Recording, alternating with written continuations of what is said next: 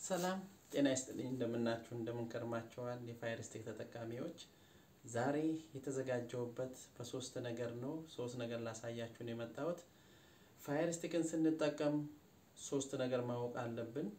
በመጀመሪያ እንዴት install ያደረግነውን uninstall እንዴት እንደምናደርግ፣ ሁለተኛው ነገር ደግሞ በምን ማንኛውንም application ላይ Fire Stick ላይ ሆነን የከፈትናቸውን background ላይ ስለሚቀሩ እንዴት አድርገን እናስወግዳለን የሚለውን፣ ሶስተኛው ደግሞ ማንኛውንም አሁንም application ኦች ከፍተን በምናይ ሰዓት movie ም ሆነ ስፖርትም ሆነ YouTube ም ሆነ ማንኛውንም በምንከፍት ሰዓት አብሮ ተያይዞ ቆሻሻ ይኖረዋል። ያንን ቆሻሻ እንዴት አድርገን እናስወግዳለን? ምክንያቱም የ Fire Stick ኡን space ይይዝብናል፣ speed ኡን ይቀንስብናል።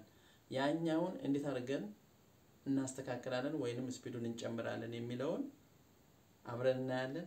እንከታተል። በመጀመሪያ setting ውስጥ እንገባለን። setting ውስጥ ከገባን በኋላ applications የሚል አለ። እሱን click እናደርጋለን።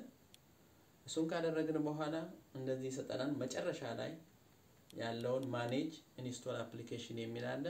እሱን click እናደርጋለን። እንደዚህ የጫናቸውን በጠቅላላ ያመጣልናል ማለት ነው። ከዚህ ውስጥ የማንፈልገውን እናስወግዳለን ማለት ነው። አንዳቸው ላይ click እናደርጋለን። ከዛ list ይሰጠናል።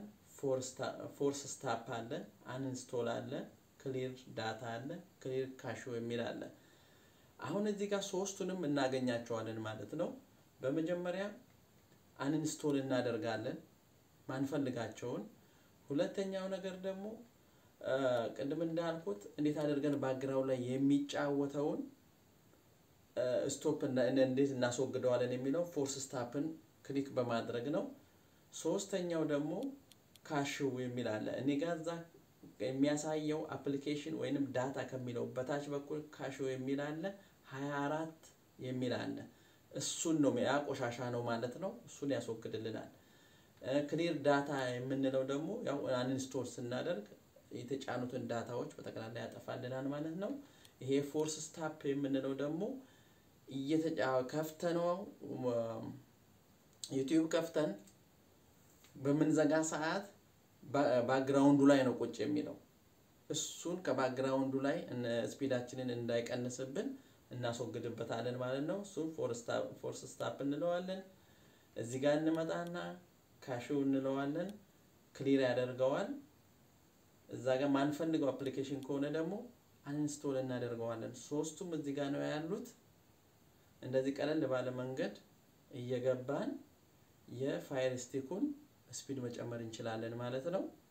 ዛሬ የተዘጋጀውበት በዚህ ነው። የሚቀጥለው ደግሞ እስከምንገናኝ ሰላም ክረሙልኝ።